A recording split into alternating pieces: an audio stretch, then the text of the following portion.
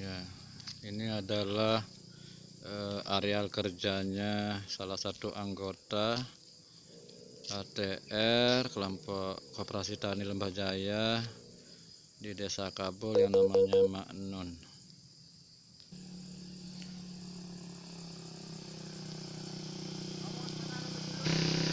Sedangkan yang sebelah kiri ini adalah areal kerjanya Amak Pawan. Belum tumbuh dengan bagus tanaman yang sudah ditanam.